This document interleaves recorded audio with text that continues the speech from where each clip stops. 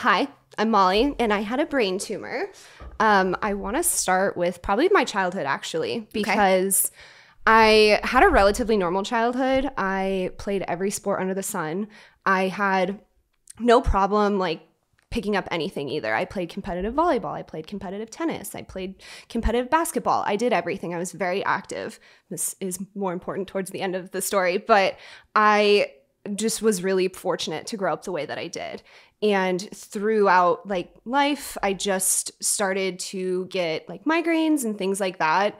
And my parents just chalked it up to nothing. Like she's just going through puberty. She's getting older it's it's normal Were they like bad to the point that you would have to like stay in bed with Oh, the yeah. lights out? Okay, so they're pretty intense. Wait, yeah, cool cloth over your eyes. Really? All the Okay. lights out. Yeah. It- Yeah. And that was, it really started like the worst in high school is when I Mhm. started to see it. And I could sleep for like 36 hours. It, Really? Oh, yeah. I was exhausted all the time. Did you ever go to the doctor about it during this time or no? Just no. Like okay. Yeah. I think it was just more or less my mom. She was a critical care nurse. So she actually retired after I had my surgery. But she basically it came down to like barfing bleeding or broken was kind of what i grew up with with Mhm. with going to school like if you want to call home you want to say uh, you are either barfing bleeding or broken Mhm. basically so Right. she took everything as like you're it's not that bad Like a grain of salt. yeah you're dehydrated you need to eat something like take some sleep time and you'll be fine Yeah, and I feel like migraines are so common too. Like I- I feel like I always hear I've I've always been like the stomach ache girl, so like that's Mhm. always what I get. Same. But Yeah. like a lot of my friends, like they get migraines, and I like Mhm. can't relate because I really I don't think maybe I've had one once, Yeah. but like I feel like it's so common for people to be like, oh, I just have a really bad migraine yes today or something." yeah i got to a point where mine started to get debilitating where then i got concerned but Right. it was nothing that like drove me to go to the hospital Yeah. Um, so I went through high school, again, played varsity tennis all four years. I was just so active. I loved going to the gym. And then I got to college and had a a lot of fun. A lot of fun in college. And I actually ended up transferring home my for my sophomore, junior, and senior year. And luckily, that's kind of around the time that I started having episodes. So in May of 2017, I was kind of oh actually let's go to February. February Okay. 2017. This will be like the first indicator. Um, I was on the ground with a dog and I was kind of rolling back and forth and as soon as I like twinged my neck the wrong way, I got the spins. Like when you've had way too much to drink and you need to put a foot on the ground, I immediately got sick. And then I ended up um, just going home after that. Like you started throwing up Yeah. I like, just from like twisting your neck. yes. Okay. Wicked spins. Yeah. And so I went home and I fell asleep and I woke up the next morning, felt totally fine. So I went to school, I handled all my stuff. It was right around the weekend of my 21st birthday. So then I ended up going to Vegas with my family, had a great time. So I just completely forgot about it. And then come May of 2017, it happened again. I got thrown onto a bed, and as soon as my head hit the mattress, it was instant spins. My equilibrium was off. I had to crawl on the floor. I was so uncomfortable. And at the time, my boyfriend, he drove me home, had to leave my car. That lasted for three days. like I, just feeling sick. And, yeah, Okay. throwing up, couldn't get my equilibrium right. If I think my mattress was on the floor at the time, and if it wasn't, I was sleeping on the floor mm-hmm. because I was so scared that I was going to roll out because I just Yeah. couldn't get my balance and couldn't drink anything, couldn't eat anything. And my parents just, again, chalked it up to you don't eat enough, you need more fluids. There's just, it's just kind of normal bodily functions. And come the third day of that, I knew something was wrong. And my dad was actually getting ready to go on a work trip. So I went into his room first and I was just like, hey, something's wrong. I don't know what to do. And he was driving to Wyoming that morning. He's like, I gotta go. I can't do this. Call your mom. My mom happened to be working at the hospital that day. So I called her and she said, just go wake up your sister, have her take you to the hospital, and I'll meet you here. And so I woke up my sister. She had an interview that day. So she happened to be at the house with us and she dropped me off at the hospital. So at this point, I'm in the ER alone. And the I feel like the hospital, the healthcare system is kind of like a revolving door. They want you in, they want you out. Mhm. So it was kind of like a put a band-aid on it and get you on your way. Right, because at this point you weren't like seeing a specialist. It was just like a normal. Yeah, and I didn't even know I had the tumor at the time. Yeah. Like this is about the time where I found out. Um So I went to the ER and they told me, oh, you probably have a crystal knocked off on your ear. So I guess you have three crystals and they kind of control your equilibrium. And they did neuro checks, they did blood work, and all of that came out just inconclusive. They were like, there's nothing wrong.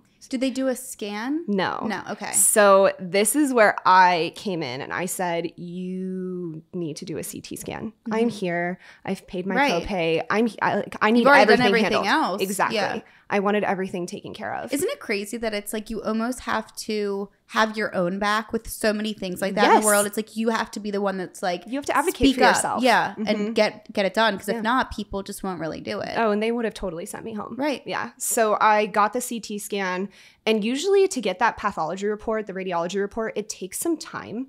So when somebody came into my room about like 15, 30 minutes later, I was a little confused. And it was a nurse, and she, the first thing she said to me was, Do you want somebody in the room with you? And I was like, what? No, are you going to tell me I have a concussion? And then she sat down, and I was like, oh, okay. And she goes, You have a small mass in your brain. And I looked at her, didn't know what the hell mass meant. I was like, What do mm-hmm. you mean mass? And she said, Well, you have a small brain tumor. And I just was like, Stop. I'm going to call my mom. She's upstairs. She worked in the ICU at the time, so the intensive care unit. And she was so fortunate to have the most amazing pod mates that they let her come down to me. And I want to say within two seconds, like a neurosurgeon was following her basically. And it, it worked out because I happened to be at the hospital my mom worked at. So everybody knew her. I mm-hmm. got care rather quickly just because now it's it's much more serious. She's very involved. And the neurosurgeon came in and he sat down and he said, do you know do you know what's going on and i told him well the nurse told me i have a small mass in my brain and he then actually sat down on my bed and he looked at my mom and i in the eyes and he goes no no no no no. You have a large mass you have massive mass in your brain. This tumor is huge. And her and i both kind of looked at each other. And i want to say around the er time is the only time i actually cried which is a little weird until after recovery. And it was kind of just a rolling ball effect after this. Yeah. Um, I had to get admitted. So they started doing more blood work. They started doing MRIs. They needed brain mapping. It was like one thing after the other. So at this point, did they not know if it was like benign or They had no idea. they just knew it was like a large mass? Right. Okay. Yeah. And because so it where it was was in the dead center of my brain on what's called the uh, it was a pineal gland tu- tumor, um, which was pressing on my tectum, which actually controls actually controls your equilibrium in your brain. So that's why I was getting the episodes. But we didn't know anything until actually after I had surgery. So it was Right, all because then they just would have to go in there to actually see what was going on. yeah, and in the dead center of your brain, you can't Mhm. like get a biopsy or anything. Right. So we we got I got admitted and I just kind of went with the punches from this point. And having a critical care nurse as a mom was kind of a blessing and a curse because she immediately started doing research and she knew a lot of things in regards to people having neurosurgery and the repercussions and the effects that it has on people who have to go through it and their families. And I think that was not the best because she fell down a rabbit hole and it really took a toll on her because she just, I mean, obviously you go to, my kid's gonna die. Mm-hmm. And they didn't know what was happening. And with when you don't have answers, you just have to go to the worst and just Yeah. prepare for it. Um, so at that point, my mom ended up calling my family members. My sister got like got me a my little care bag, my blankets and stuff to ha- be able to shower and have to stay in the hospital for my extended period of time. So they weren't going to let you go home as, after they found this. No. Okay. mm-mm. So I had to get a bunch of different tests. And one of them, the one that I remember the most, was actually called a lumbar puncture. They take this like massive needle and they put it in one of your discs in your lumbar spine to pull out cerebral spinal fluid. And they more or less just wanted to discount having basically cancer that had spread to my spine. So this Okay. was just making sure that my cerebral spinal fluid was okay, which it was, thank Mm-hmm. God. Um, but then after that, I had to lay on my back for eight hours, which was miserable. I couldn't move just to regenerate your cerebral spinal fluid. And then they came in. So, two neurosurgeons that were on the team at the hospital I was at came in and just kind of gave me a breakdown of what they were thinking. And what they were thinking was nothing. They said, We don't know. We don't know what it is. We don't know how it how it came to be. We don't know how we would get there. We just we just know it needs to come out so we can go in there and we can figure it out as we go. Um, we can obviously refer you to other neurosurgeons. And having a neurosurgeon tell you, we don't know, we can figure out how to get in there and do something about it was terrifying. Right, because then it's like when you make that choice to get the surgery and go under, you don't know if you're coming back out. Right. You're like, and well, that's my brain too. Right. I want somebody who actually has some form of an idea as to what's going on. Uh, so they actually then too it was just perfect timing, and they had a huge neurosurgeon meeting on the Saturday. So I think this was a Friday that I was finding everything out. And then on a Saturday, they had this conference nationwide with a bunch of different neurosurgeons. And they said, We want to present your case if that's okay with you, because we want to help you find answers. We want to find answers. And if we can get people from all over, all these different neurosurgeons to give us some opinions, we would love to do that. And I was like, absolutely. Yeah, that's amazing that they Yeah. wanted to do that too. I got super lucky with that. Mhm. Um, and then from there, they did discharge me. They put me on so many meds. I mean, I had been on meds since I had started this whole ER experience. I mean, everything under the sun, the typical cocktail. The worst one was they gave me a steroid, which was to calm the swelling in my brain. And it made me blow up like a balloon. I was gonna say, I was so fat, and the it wasn't like I got fat everywhere else. It was like my face was huge Yeah. And um, I think that started to weigh on me. I was like, my appearance is changing. Like, I just want to live as normal as I can until I have surgery because I really didn't know if I were going to make it. So I wanted to make the best of literally everything I could. I kid you not, I have so many photos that my mom was like, there are monkeys somewhere outside of like a shopping mall that's near my house. And she was like, go jump on one and I want to take a picture of you. I literally did everything they wanted to do because I wanted them to have the happy memory of me, even if I came out and I were like a vegetable. I still wanted them to remember, like, this is my daughter. Look at how happy she was. She was so fun, so outgoing. And that was really important for me for them. And I think through this whole process, that's actually what I ended up doing was I saw everybody around me crumbling. And so I had to be the strong one. And I think that's kind of where I just didn't cry because Yeah. I didn't want anybody to think that I was scared. Um, And like it was like your responsibility almost to keep them together. Yeah. because if they saw you together, then Exactly. they- right. and then they kind of felt like I was going to be okay. Yeah. I And how old were you? 21. Okay, that's what I Mhm. thought. Okay. Yeah, right. I literally found out right after my 21st birthday, which Okay. kind of sucks, but I got to experience the 21st birthday, Yeah. which was nice. Um, so when I got home from the hospital, my mom immediately started reaching out to every neurosurge in the United States that she could. I mean, she spoke to people at UCLA, at NYU. She was talking to people in Scottsdale, Arizona, like trying to touch all the main bases to just see where where's the best place to take my daughter. And we actually got really lucky. I found my neurosurgeon in Colorado, so I was able to go through surgery and recover at home. But he was incredible. I met him. He gave me the most minimal information. And I think that was to keep my mind at ease. Mhm. So I wasn't overthinking the whole process. I wasn't scared. I wasn't going to be worried about XYZ, what I was going to come out like, how long the surgery was. It was more or less just here's what's going to happen. I think I know what your tumor is, and this is how I want to go about it. So he immediately, like out of nowhere, just gave me everything the first neurosurgeons didn't, which was the most comforting thing. And knowing that my recovery was going to be quite a bit of time, extensive, I chose to be at home because I didn't want to recover in a random state. I feel like that would have just made it so much harder. Yeah. So from there, we had to set a date. He said it needs to be, it's urgent. It needs to be as soon as possible. They pushed it out for the end of May.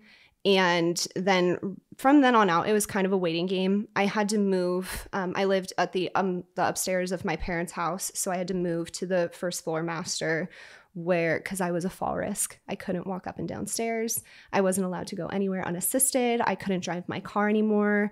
I was, and this is before I even had surgery. This was just like, you're done. Your life is done. My sister, when I was in the ER, actually emailed all of my teachers because I was still in school at the time and just said, yeah, my sister's not coming back. She has a brain tumor, don't know what to do. And I got really lucky. All of my teachers just passed my finals. They were like, here you go.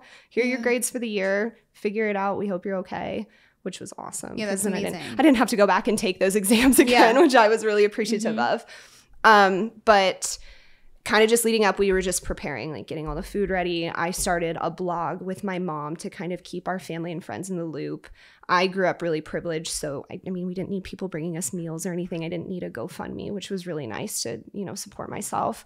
And I just have amazing parents who basically gave me the world, and they still had me on their insurance, which was great. So I was covered and I didn't want anybody to see me. So I was kind of just in my blog post, like, we appreciate your thoughts and prayers. Please don't come to the house. Like, mm-hmm. I didn't, I wanted everybody to remember me if I were to die, if I were a vegetable after this. I wanted everybody to remember me as this happy go lucky, very outgoing, so determined, very athletic girl that uh, just beaming smile all the time. That's what I wanted. Yeah.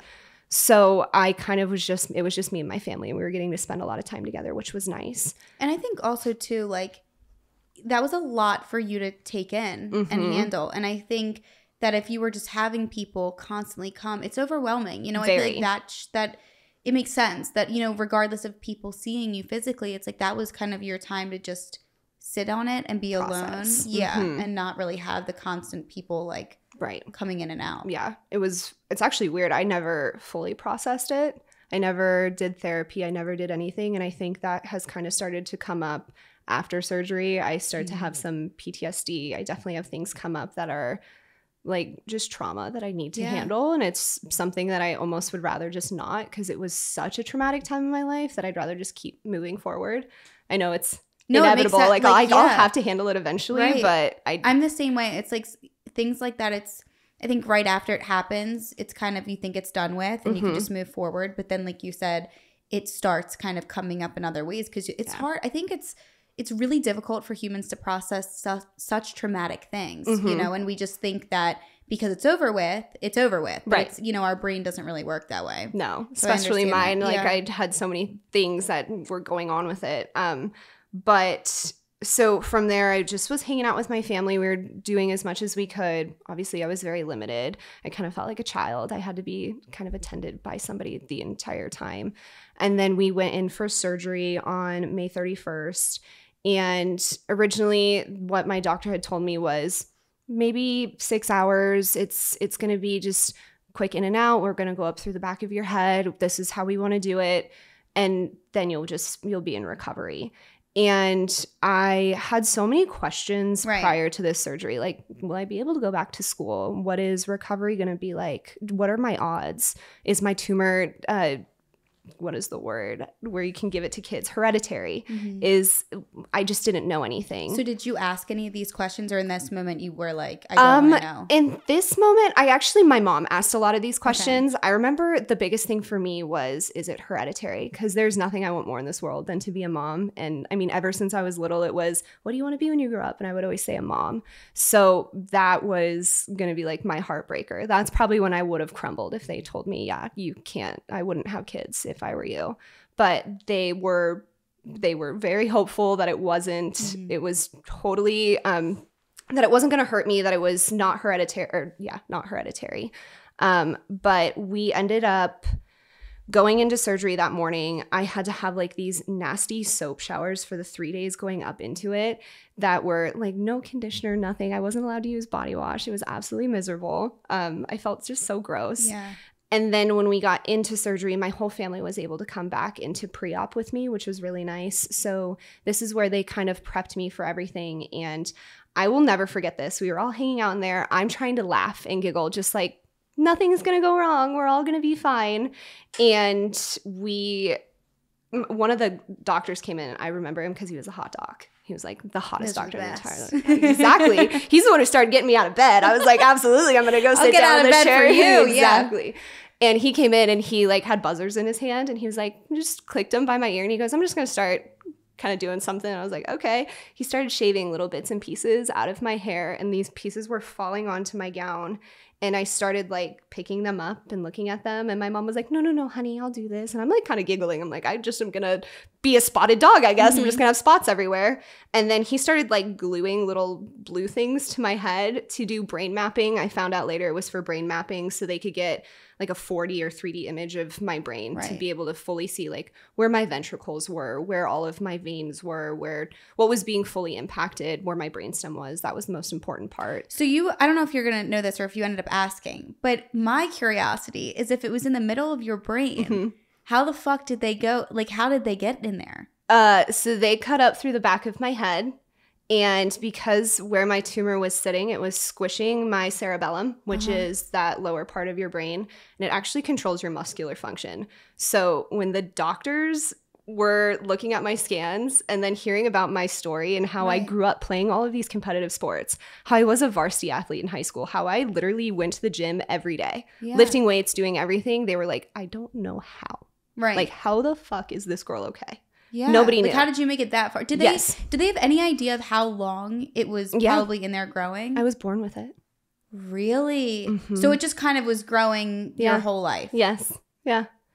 It was Wow. um baby cells. What are the baby cells called? I don't even remember. I don't know. Yeah, I, I don't either. I I do know it, but I can't remember it at the moment. Yeah. Okay, so they were able to know that that it was. Okay. This was so from the pathology. So after I had surgery. Okay, sorry, I'm Yeah. fast forwarding. Okay, You're go fine. back. Go, You're fine. Go back to where you so pre-op. So he was shaving my head. We were all giggling, and my my mom and dad and sister were all in there with me, and we all kind of just tried to remember it as the happiest time ever.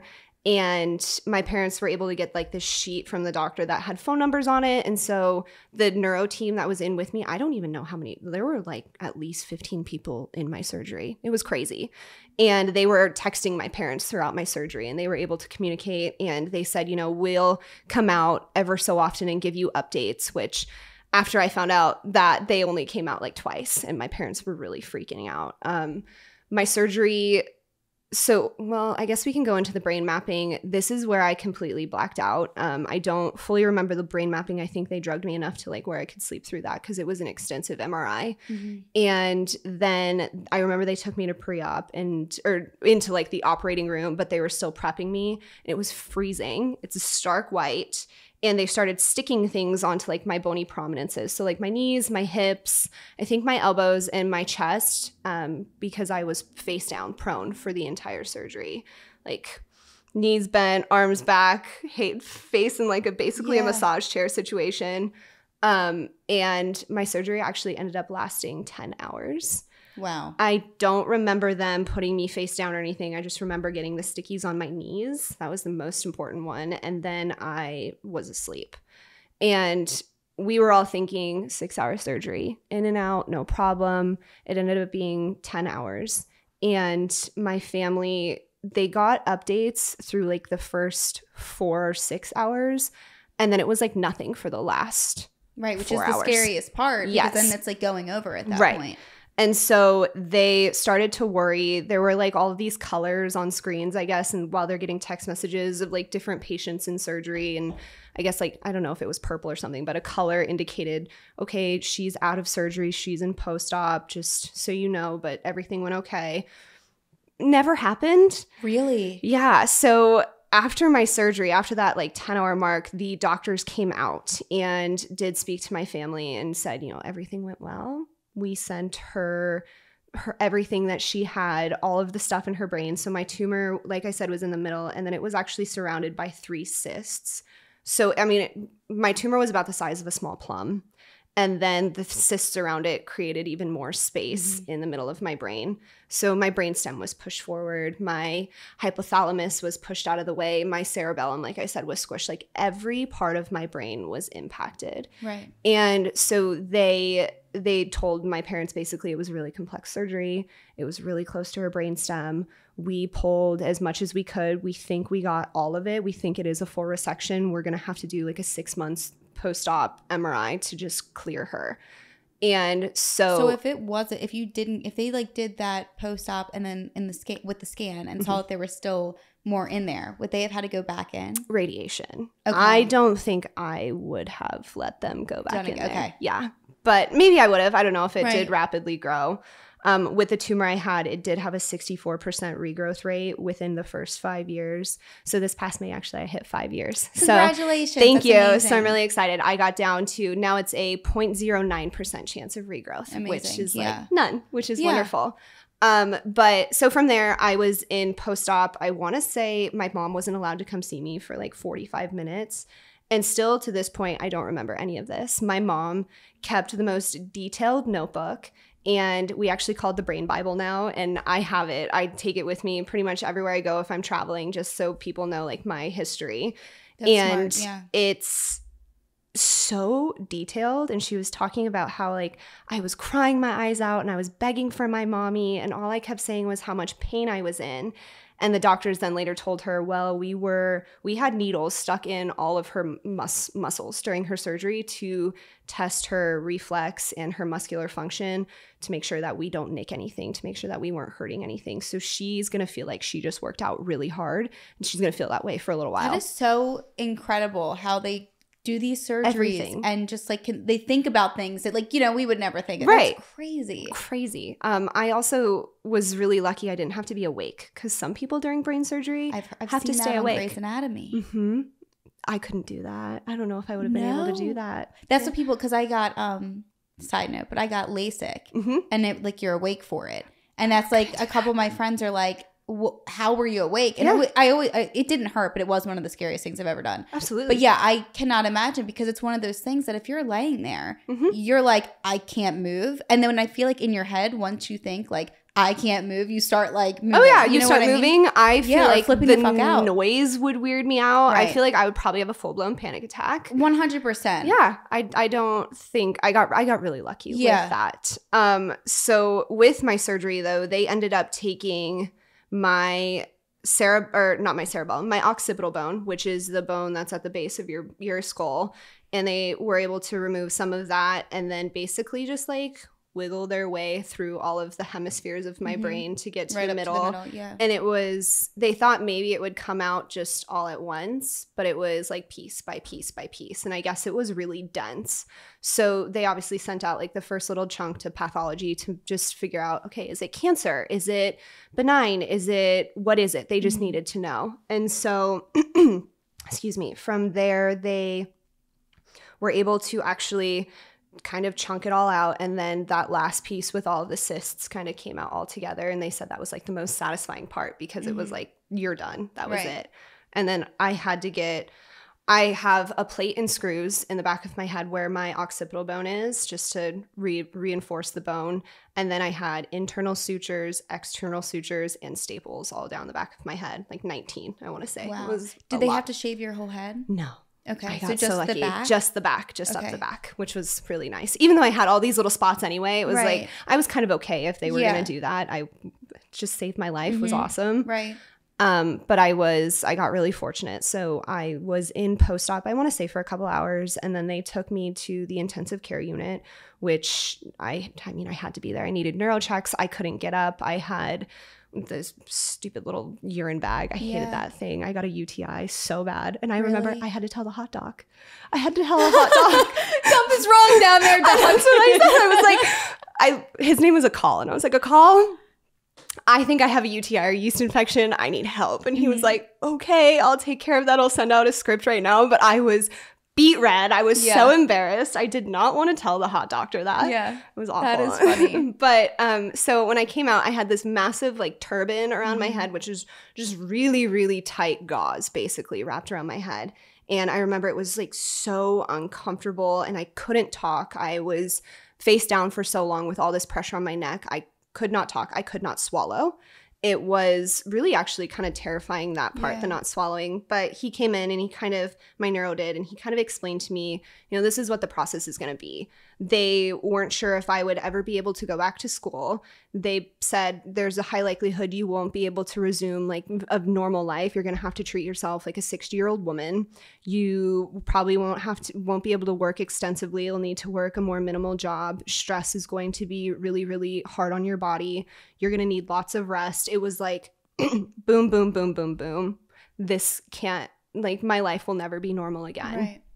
And so he once he went over all of that and cut my turban, which was wonderful. That was so painful. Um, that was kind of just the start of the recovery for me. Mhm. Was I need to prove everybody wrong, basically. I want to go back to school. I want to do all these things. And Did they say how long that they thought it might be? um a year at least. Years though. I And mean then you would also have to be doing um, like rehab and stuff like that. physical therapy Yeah. a lot of it so i actually needed a physical therapist for my mouth because I could not talk very well. Right. Um, and then my swallowing, I couldn't swallow. So was that all from the surgery? or- Yes. Okay. Yeah. So it wasn't like there was anything preventing it. It was No. literally just from the brain surgery. Okay. Yes, and So I how would you eat and drink? I aspirated so many times. Like just inhaled food, Mhm. inhaled liquid. I had to chew up my pills.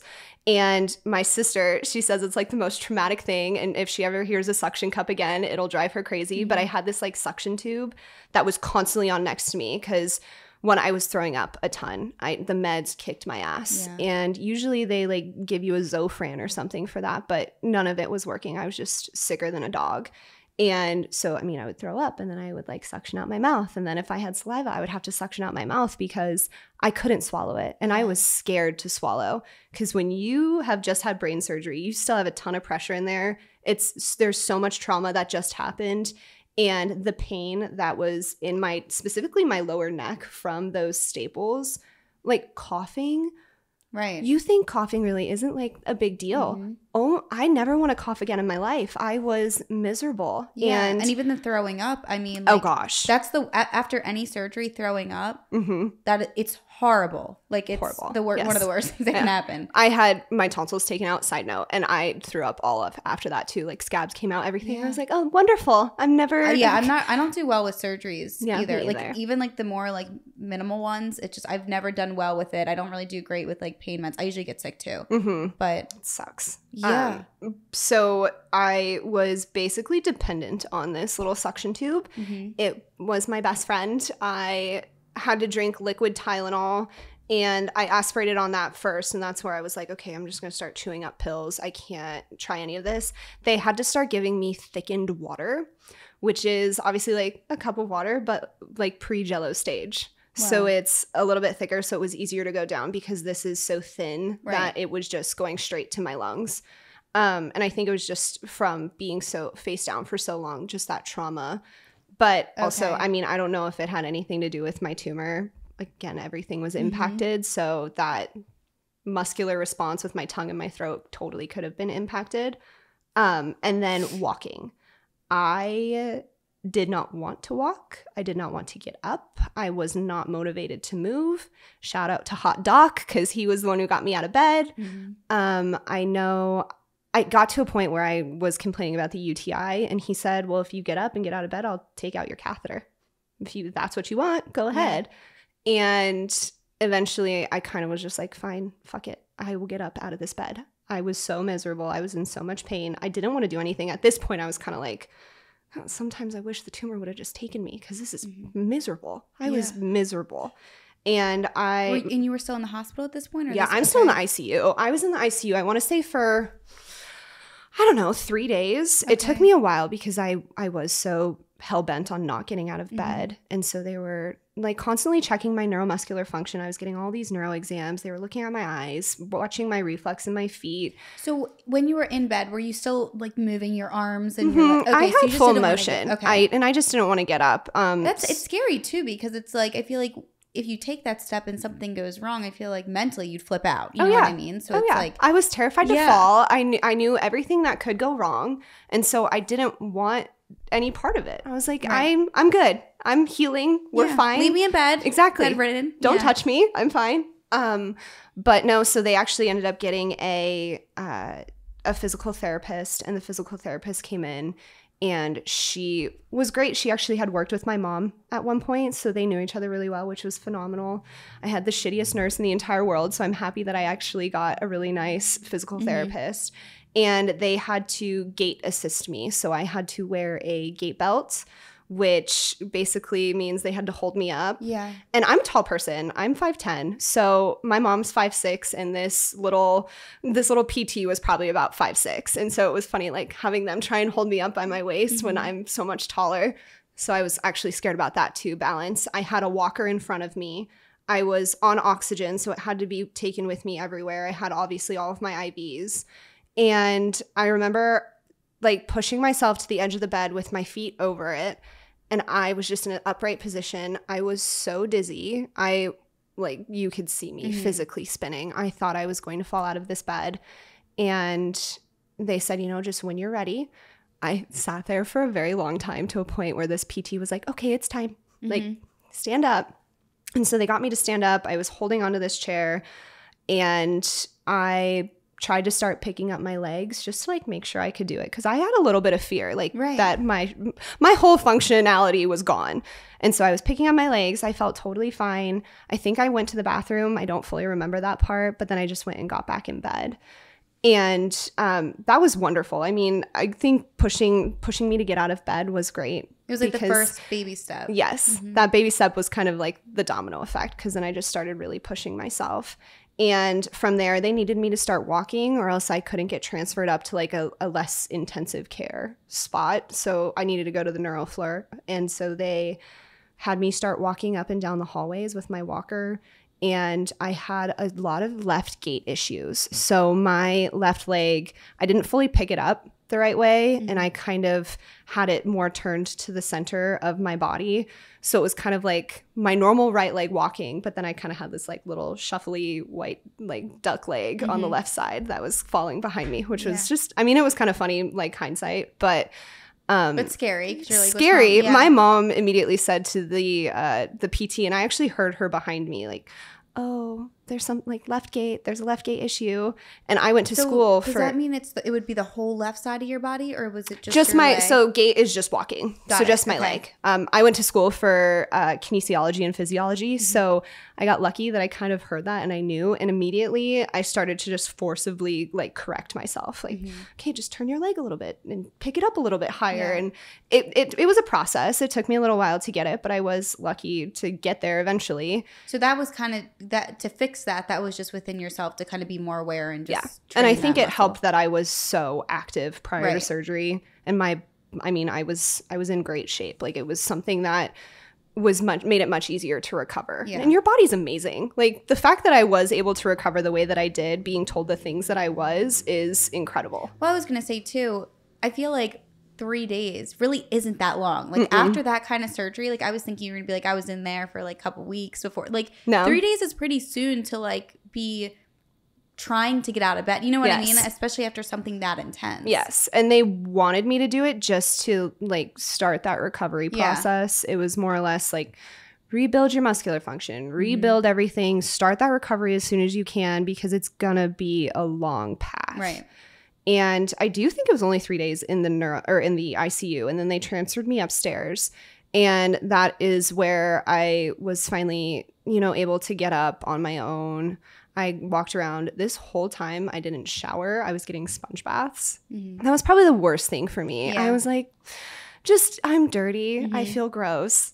Not washing my hair. I can go a couple of days without washing my hair, but like a month was Right. gross. Could you turn your neck Mm-mm. so it was just straight? Yes. So from all of that inflammation, I was in so much pain.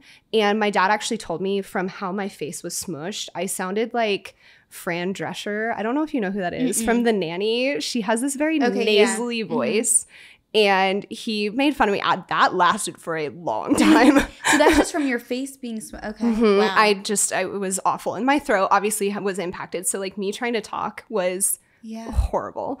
But then I couldn't turn my neck, one because of the pain, but two because of how low they put my staples. Mm-hmm. There were two in the bottom that like pulled every time Yeah, I I turned. and I was like, this is yeah. so uncomfortable. I didn't like it. So I just stayed steady. I Mhm. was just, I'm not going to turn. I actually ended up like turning my body like this. I'll Yeah, that's what I was it. like envisioning. Yes. It to be like. And I, oh, I really wanted a like a C spine, like one of those collars, because I That just wanted help, yeah. support. I just wanted support so bad.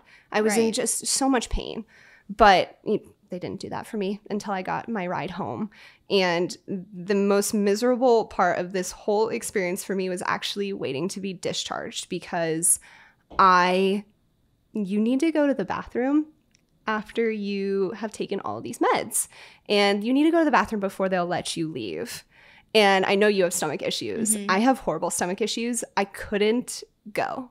well, also, I went weeks. I was going to say, but with after surgeries, usually Yeah. that'll constipate you. Yes. Right, because of the anesthesia, I think. Yeah, and the pain meds. Right. Mhm. So all of that stuff backs you up. Yeah. I know that when I got my boobs done, I don't think I shit for like a week or so, which Yeah. is very unlike me. But I know it's because of the surgery and the medicine. Yes. But um I think not going can make you like nauseous too and throw and like feel Oh, like yeah. crap. I felt like- like I felt like shit. yeah, I like even if you're vomiting, it's like Yes. not the same. Like Right. it's two You completely need to get different things out. Yeah. Yes. So so you didn't go to the bathroom for like two weeks. hmm Which is actually, I mean, okay, this is weird. Kind of normal for me. Okay. I don't go to the bathroom. So you're I probably shit like every 11, 11 days or something. Yeah.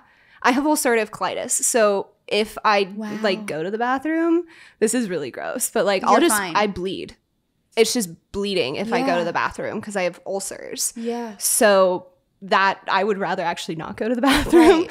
But See, this, I think I have like IBS, so I'm like the Yeah. opposite. I'm going all the time. yeah, no, wow. not me. Okay. So Yeah. you couldn't go to the bathroom and they won't release you unless so you I bless my mom because I only tried like it got to a point where I was like asking her to like I've asked her to do an IV for me Uh-huh.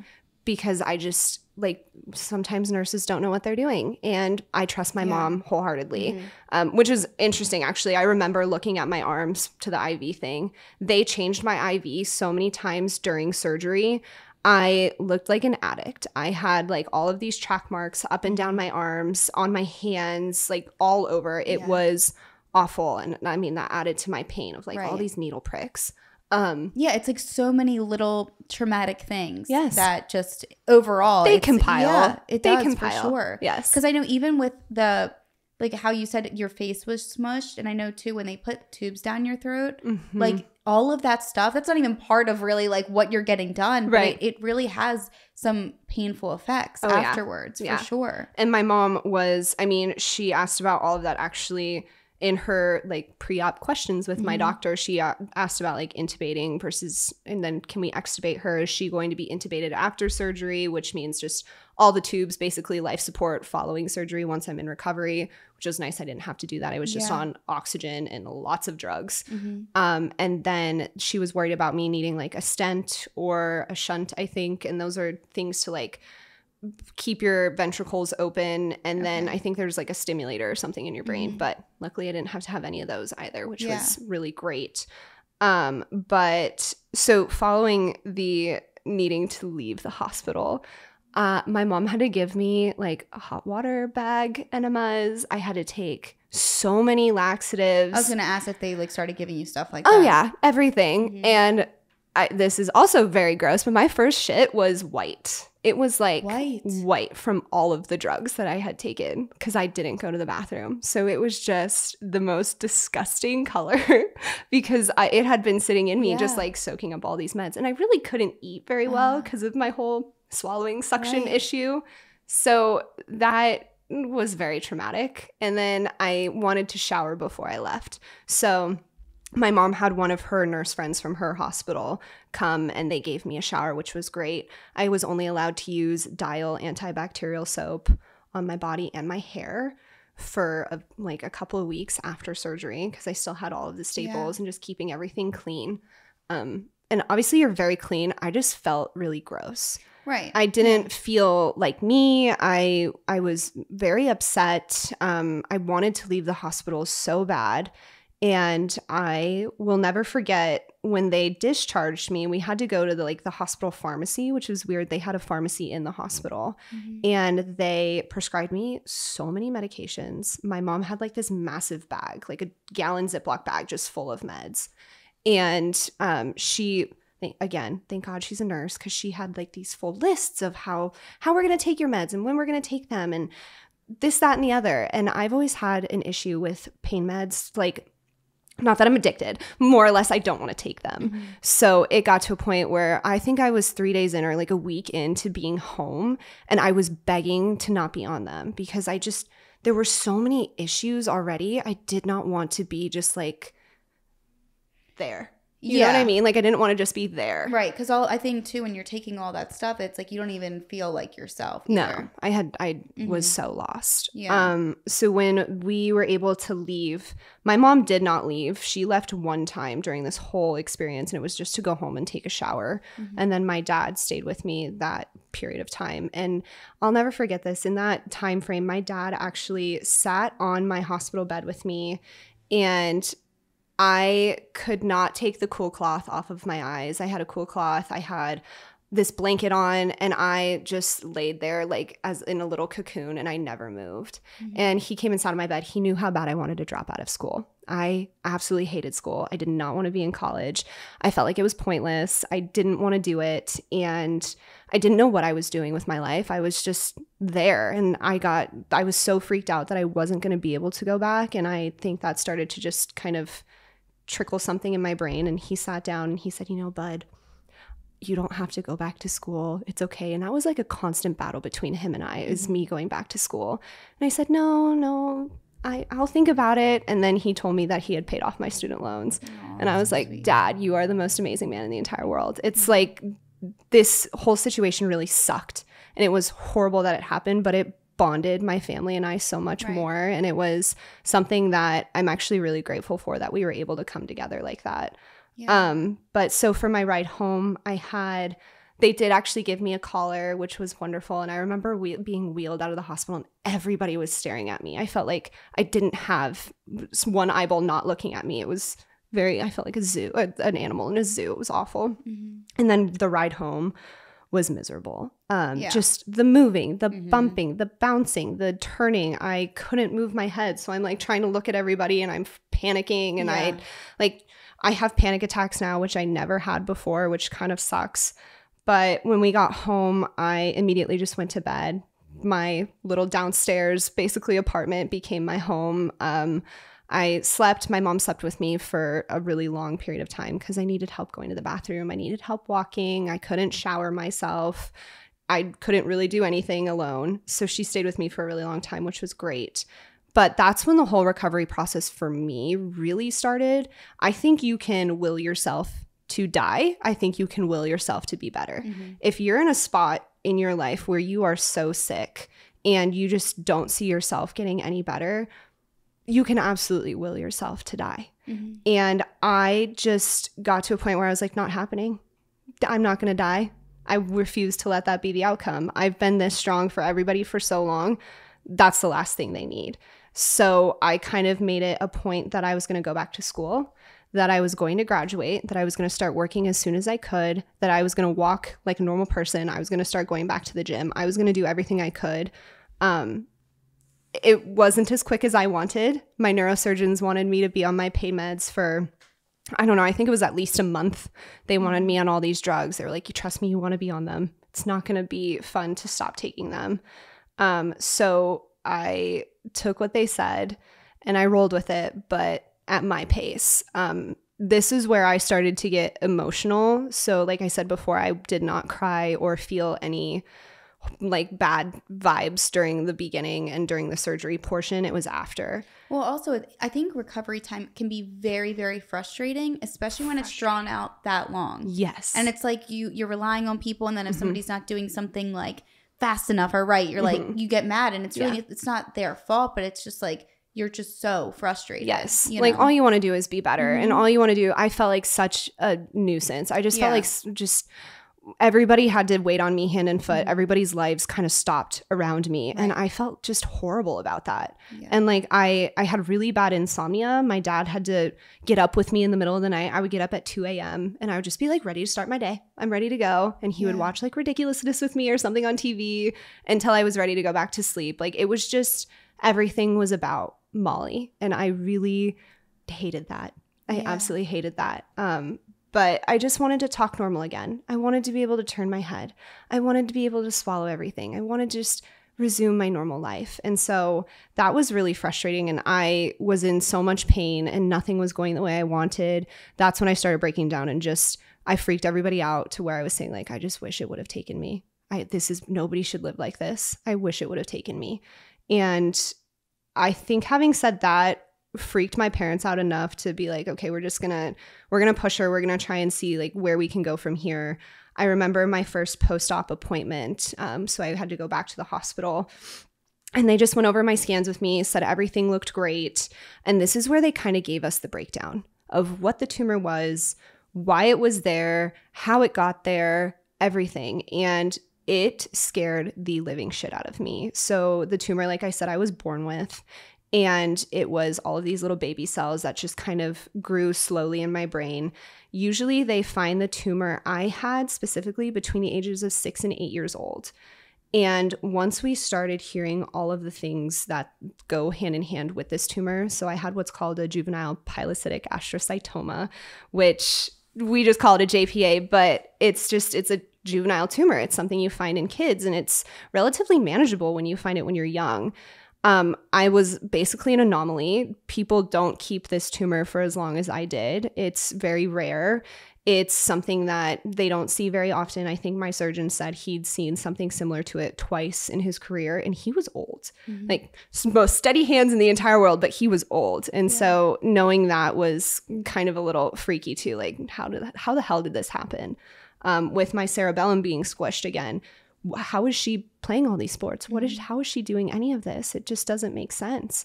And that's kind of where the whole medical miracle, medical anomaly came up. And that I knew at that point, like, I've made it this far with the tumor. How much further can I go without it? Right. Um, so during again that post-op first appointment, my doctor told me the ventricles that line the top of your brain were so squished. We give you we were going to give you 3 months max until you were dead those ventricles were going to burst in yeah. your brain and you were just going to die instantly.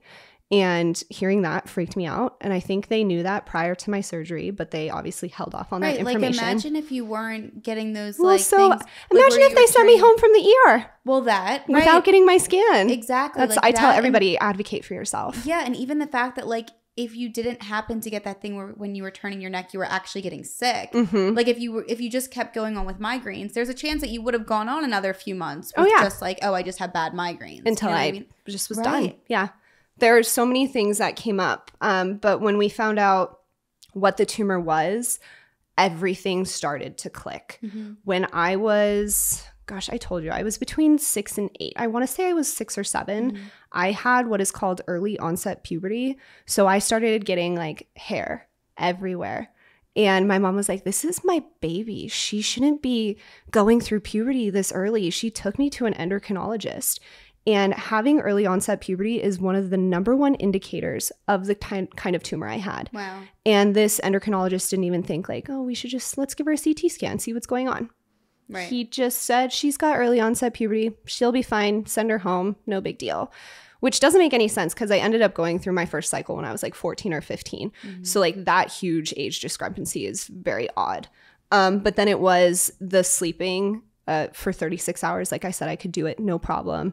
The migraines I was suffering, the just the mood swings. I had the worst mood swings. And this was all prior to finding out anything. Like high school me was probably a nightmare. I'm, I I would assume. I had like the resting bitch face, the fuck you written across my forehead. That's, I, that sounds like me. Yeah. Oh, and I, I did not like I one. I didn't give a shit. I was yeah. like, none of these people I'm ever gonna see again. I walked around high school with headphones in. I just did not care. I did not want to be around them.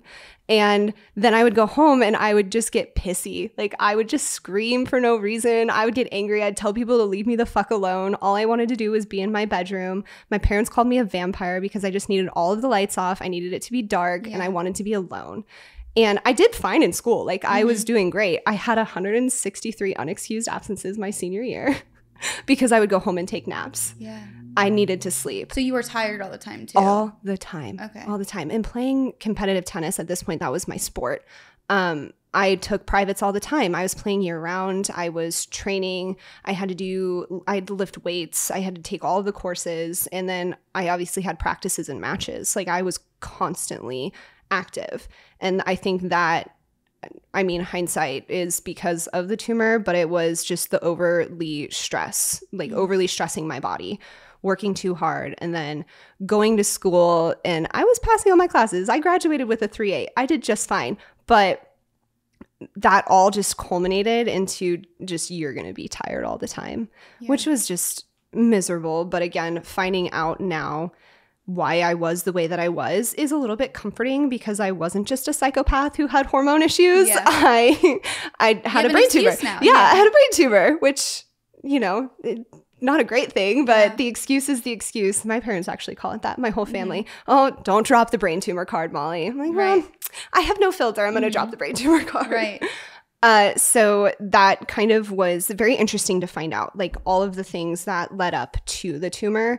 That again, the revolving door in that hospital setting is she's fine, chalk it up, no problem, send her home. Right. It's like you have to push. You have to push. And so, I mean, gosh, I told my mom she could easily go sue this doctor for totally sending me home, knowing that I had a brain tumor and doing nothing about it. But um, just everything that compiled was really interesting and when we noticed all of those things it was very un- like telling we Mhm. all kind of had this light bulb like oh it makes so much sense now Right. um, I was able to go back to school actually after after the summer. I pushed myself really hard. So I had surgery in May, very end of May. I went back for school in August. Wow. I did one class. I had to really take it easy.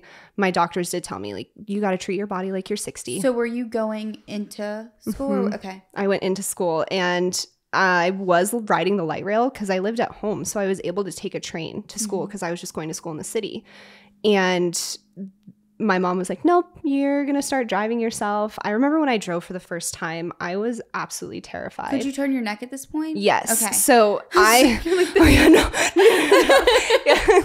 So I ended up um, after a f- few, like this was uh, probably three months, I want to Okay. say, or two months that was a lot of just recovery at home, going to the doctor. I remember getting my staples out. I totally passed out. My blood pressure dropped tremendously.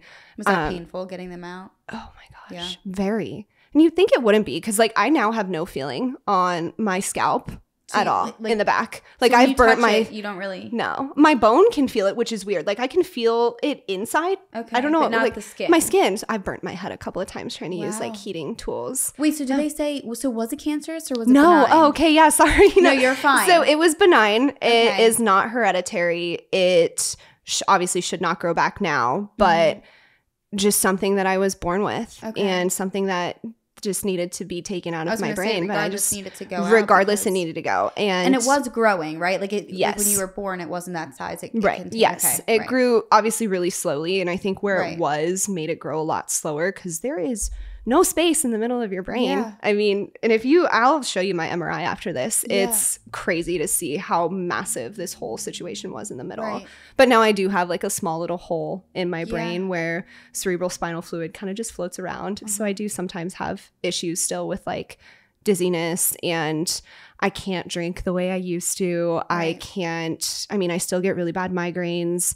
The pressure changes with weather. So the barometric pressure when it gets really cold outside or when we're getting a snowstorm in Colorado, it's miserable. I get wicked migraines. They last for like three days. Wow. I obviously get a ton of pain in this area. Um, I get phantom pains, but I also get pain where that plate is because the plate gets cold. It's not like something I can keep warm. Okay. So it gets really, really cold in the winter specifically, which is miserable. But Mhm. I still deal with a lot of things following surgery. Yeah. I know I'm kind of like bouncing all over No, the place now. So how long ago was the surgery now? Five years Five this years, past okay. May. Right. Mhm. Okay. So I I mean, it took me a while. I did end up going back to school for that Mhm. one class and then I was able to finish out my semester in 2019. I graduated. So it took me a year longer than normal, but I was okay with it cuz I that was like a goal of mine. I'm going to go graduate specifically for my dad, Mhm. but I went and graduated, which was really cool. And that was a very fulfilling moment. Um, I went back to work pretty much as quickly as I could as soon as I started school. And my doctors were a little pissed at me. They were like, You're pushing yourself way too hard. You are going way too hard. You are exhausting yourself. You're stressing yourself out. You're going to make this recovery take a lot longer. Yeah. I needed to slow down. And I just like can't. Right. I couldn't slow down because then I felt like I wasn't progressing. Um, so I just I still kept doing it. I started. I mean, I take medications just ever so often now if I have migraines. Mhm. Um, but I did have a, again a lot of repercussions. I found out that I had um, a lot of hormonal issues because of where my hypothalamus was impacted.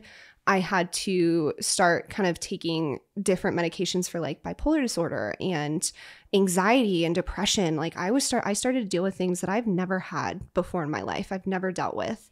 And that that was all from how the tumor was Where the tumor was. Okay. hmm And having it taken out, now everything was able to kind of expand Mhm. back into as much as it could back into its normal spot. So I was starting to get all of these functions back that I really hadn't had for a while. Yeah. So I was experiencing a lot of things that I had never experienced before. And like claustrophobia, I get really claustrophobic now. And I used to never be claustrophobic ever. I never had a That's problem with being in small Yeah. spaces.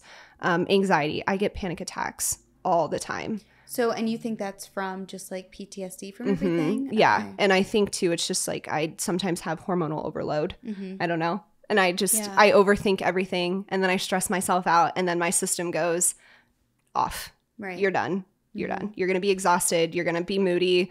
You need to just shut down for a while. Mhm. And I still, obviously, I still deal with that. And that's something I'll have to deal with the rest of my life. Um, but no, I can't drink. I had no filter prior to any of this. When I drink, I say whatever the fuck I want. And I am so unapologetic and I could give two shits who I hurt, what I say. I just speak my mind, speak my truth. And it can be really bad. I actually messed up Thanksgiving last year really bad to where I got sent home. No. yeah. Oh I really I don't necessarily know exactly what I did. Um Mhm. I know I was really inappropriate, probably a little too sexual. So, was told so to were you? Is it that you were like that was just from like drinking in general, or like you think it has to do? It with has to do with my tumor because I, Okay. I before I had surgery, I would drink and I did a bunch of stuff and I partied. I mean, I went to raves in high school. Uh-huh. I I did illicit drugs. I've done this stuff. Um, and So it's like more recent that now it's like when you Yeah. drink, it's oh yeah, after surgery, Okay. I didn't drink for a while. Um, that's I so interesting. haven't touched anything. I don't smoke weed. I don't do any of that, and I haven't touched any of that stuff since. Mhm. I at least, gosh, for a while before surgery, but since I had surgery, I am terrified to do anything. Yeah. I don't even like taking like a Tylenol. I just hate it. I don't like I know. putting I stuff feel in like my it's body. one of those things too, where it's like, yeah, it's great that the tumor is out, but now because it was in there your whole life, it's like, Mhm. okay, how is my body going to react to A, B, and C? Yeah. You know what I mean? Because it's it's different. You're- Exactly. You know. I'm totally relearning the whole thing. Um, Yeah. I lost a lot of weight after surgery. And I remember a lot of people being like, is that because of your tumor? Like, what's going on? And I, I was terrified to put anything in my body. I thought I was going to start having allergic reactions. I didn't know if I had to con- just completely start my system over. Mhm. And so I just kind of I tried step by step to reintroduce everything into my body. And it was a process, but never gonna do a drug again, that's for sure. And Yeah. I don't drink as much as I used to. Ever since Um, Thanksgiving, it's a Ever since that Thanksgiving, I can never Yeah. drink again. No, I don't drink a ton just out of respect for the people who are around me. Unless I'm just at home with yeah. with my man's, then you know maybe we'll have a couple of Right. drinks. But I can probably say too many things to him too, which I should. Right. You can't be trusted. and I no, I can't. I I can't control it. I, I. I, I really can relate.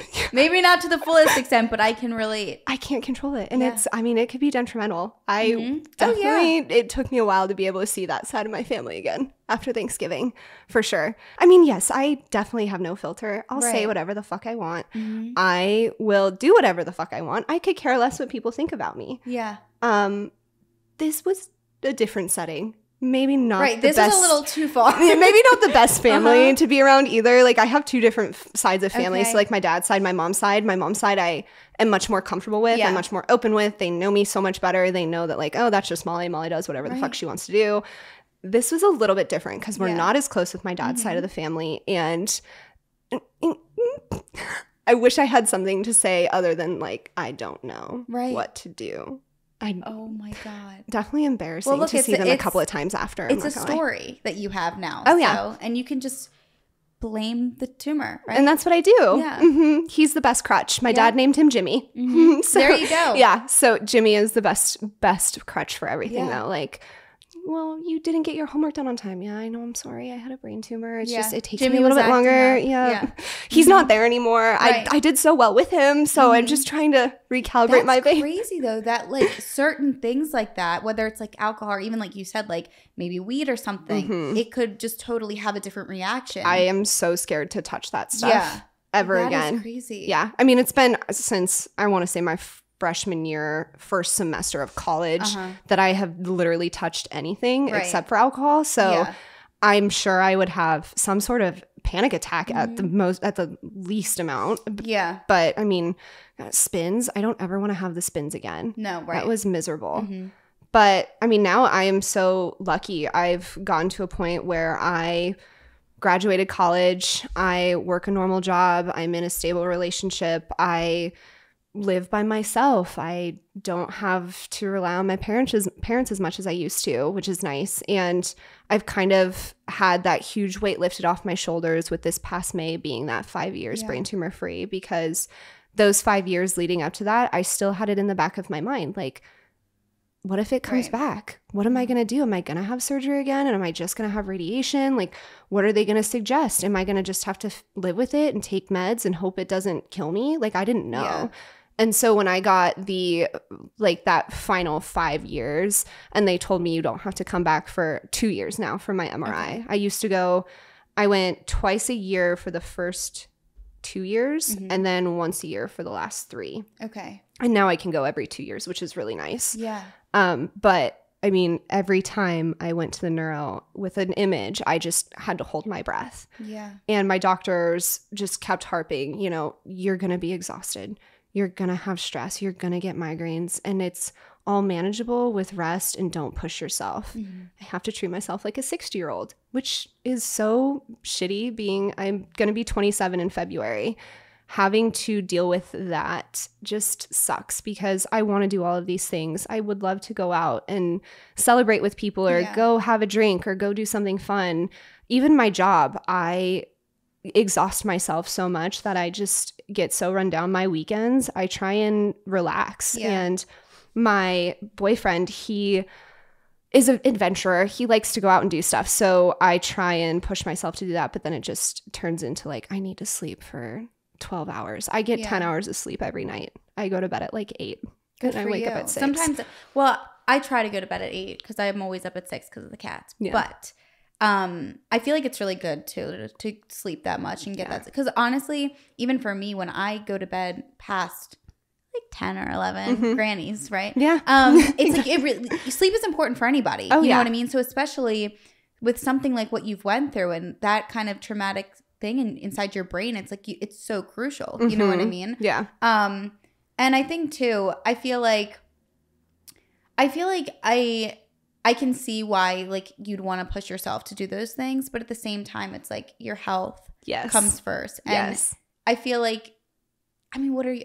I don't want to say what are you really missing out on, but like when it comes to going out and like getting those drinks. Oh, and I'm over like that. You know what I mean? I'm so it's over like, that. It's one of those things that there's gonna. I feel like you're gonna have those moments every now and then where Mhm. it's like, okay, I got enough sleep. Like I can go and I can enjoy that. Yeah. But at the same time, it's like treating yourself to the best of your ability and like giving yourself that time and that Right. recovery and the rest. Even though it's been that, that five years, it's Mhm. like it's still so crucial and important and for all of us, even those who haven't ha- gone through something Right. like that. Yeah. Um, but you know, I, I think that I think it's cool though that your boyfriend is like, you know, the adventure because I feel like it, it does to some degree. Like if you have that enough energy, it'll push you to like, okay, like I'll go. You Yeah. know what I mean? Yeah. Because I always go with him. I Yeah, definitely I take was- advantage of that. Yeah, the and I was- memories. I was gonna say too. At the same time, I feel like kind of going back to what you said about um, you can either have the will to like live or die. Mhm. It's like you could, if you maybe if if you didn't have like a really good support group, you could fall into this trap of like almost babying yourself too much, where Yes. like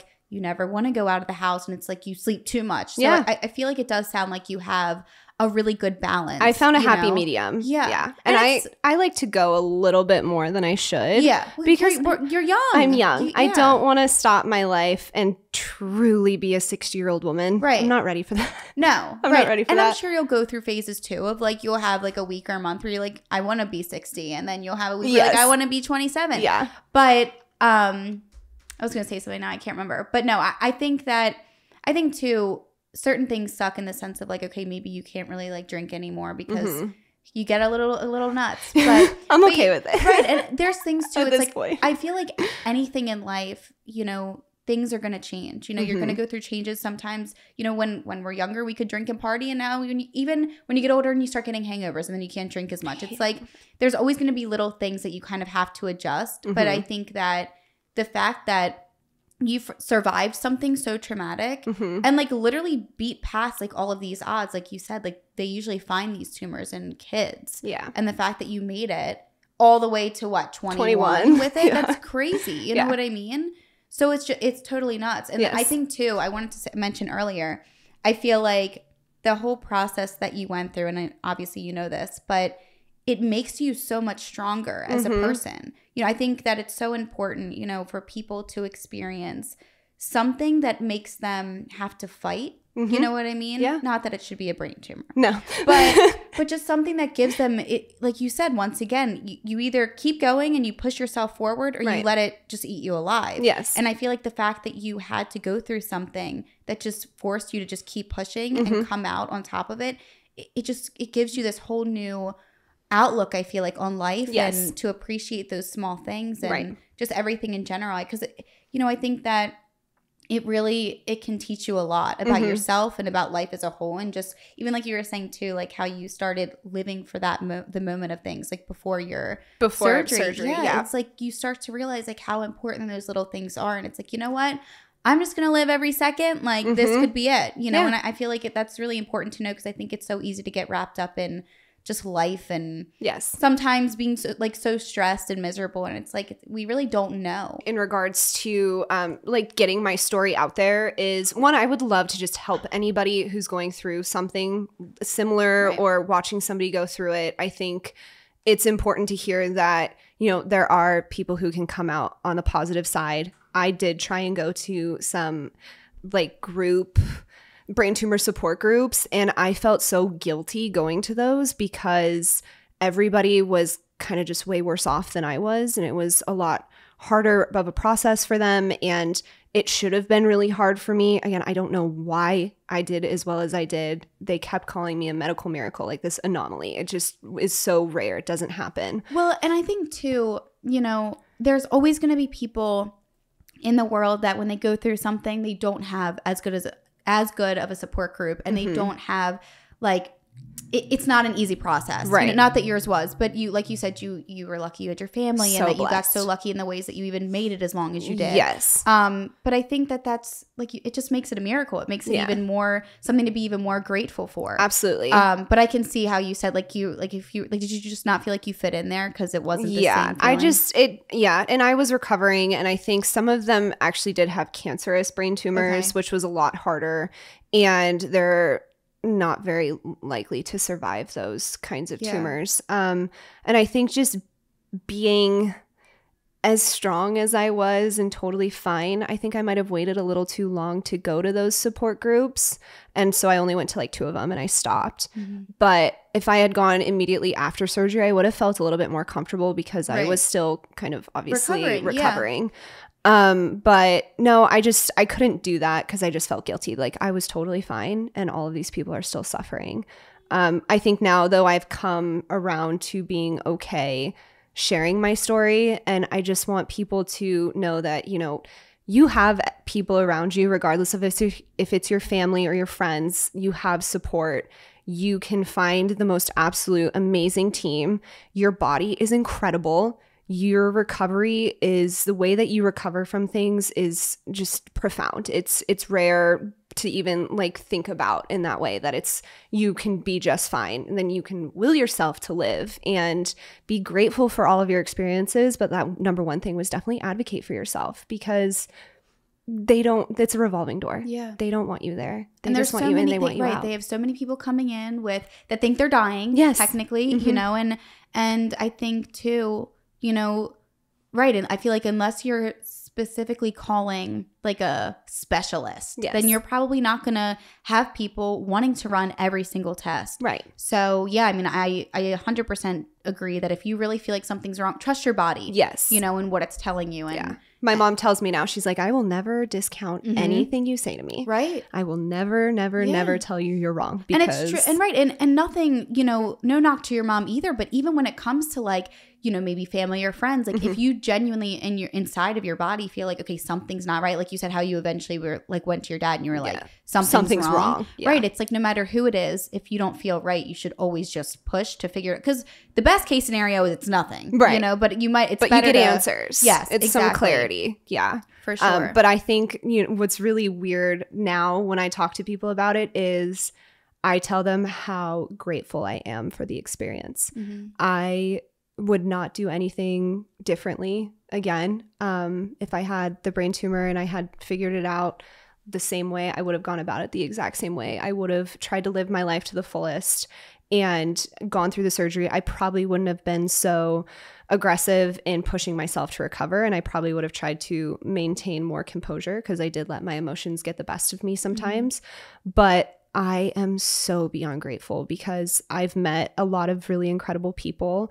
I've been able to communicate my story and just touch as many people as I can. And I know how short life really is. And I will never take it for granted. And I've done a lot of things that I think I probably shouldn't have done. And I think a lot of us have been there. Um, but now I just, it's like a keep moving forward thing and do what you love. Like I told you, I'm a nanny. I take care of kids for a living and I manage a household and I absolutely love it. Right. It is my dream. It's my passion and it's so unconventional and people I'm sure judge me when they hear that that's what I do as a 27 year old, but I love it. Well, I was gonna say too, like it's funny because when you were saying how growing up, that's like always wanted you what you wanted to be was a mom. Mhm. Like it makes sense to me. Like Yes. and, and it really does prove to me that you're doing that because that's what you love and that's Yeah. what you want. and to it's what. I want to do. Yeah, Yeah. And it's, I mean, it's not like it's not a lucrative business. No, I, definitely I. And I love it. I love what I do. And I just have been so blessed to find the most amazing family that I work for. I just love their kids. I love these Yeah. people. They're amazing. Um, but everybody has kind of just kept me moving forward and been the most amazing support. And now I'm finally able to kind of do it on my own, which I really appreciate. And I'm finally, you know, starting my life. I'm finally getting to a point where I feel comfortable doing everything that I've ever wanted to do. Um, I actually made a live list when I was in the hospital, and this was before I had surgery. And it was kind of like, as soon as I find out that I'm okay, I'm doing all these things. Yeah. I started, I mean, I got a couple of tattoos, which I love. And I'm the only person in my family who has tattoos. And it's a total taboo thing. But I was like, I'm getting tattoos. I bleached my hair blonde. I was blonde for a hot minute. I graduated school. I, I did everything I wanted to do. Um, but now it's just coming down to like being a wife and a mom. Those Mm-hmm. are my last two things, which I'm sure I could probably make this massively long list, but I didn't want it to be like some ridiculous thing. Like I would never jump out of an airplane. Right. So that would never be on my list Yeah. anyway. But I just wanted it to be things that I could definitely reach. Mhm. But now I just have those two left, which I'm excited about because Right. I see that in my future. And that's what's important to you, which Yes. is all that matters. Yes. Yeah. So- I'm really, really lucky. And I'm really grateful it happened. Yeah, that's Yeah. amazing. And I think too, like you said, I feel like everybody in general, like whether you're going through something serious or not, everyone should have those lists and those Mhm. little things that they want to do and just Yeah. and do them when they have the time because Absolutely. you never know, you know, Right. like anything could happen. We all this could all be all of our last day. We never know. Exactly. So it's really important to just do the things that you love, like you said, and make you happy. and tell everybody you love them. Yes. Don't ever not, you know, express your emotions, especially towards your family and your friends. Mhm. Always tell your people you love them. yeah. And your list doesn't have to be aggressive. Like mine was see a Paramore concert, go to Mhm. Disney World. Like it was just the most minimal things, right. but just massive goals that you feel like you've attained. And I mean, I like that. I'm kind of a smaller goal kind of person. So reach your small goals and then work towards that super big goal, but like in tiny little steps, which is totally fine. For yeah. sure. Well, I think that's amazing. Thank you. and your story's amazing. Thank You're you. amazing. And thank you so much for sharing it. Thank you. And Thanks for having me. Of course, I, re- I really do think too. Like I said, um, I know I always say this in different ways on the show, but I really do think that your story is so important because there's probably a lot of people that don't always feel great, like physically, mm-hmm. and they just kind of accept it. And I feel like it's important to hear that, like, you shouldn't and like i right. said even if you even if the answer is that it's nothing i think it's important to hear that like it's not like you knew right away what was going on right. Like it took some time and work to figure out like oh, yes. oh this is what's wrong with me and now i have to get an immediate surgery yeah. so it was my uh, whole life i yeah. mean it was it was crazy but exactly. just yeah advocate for yourself push for 100%. push for what you need for awesome. sure. Well, thank you so much. Thank you. This is fun.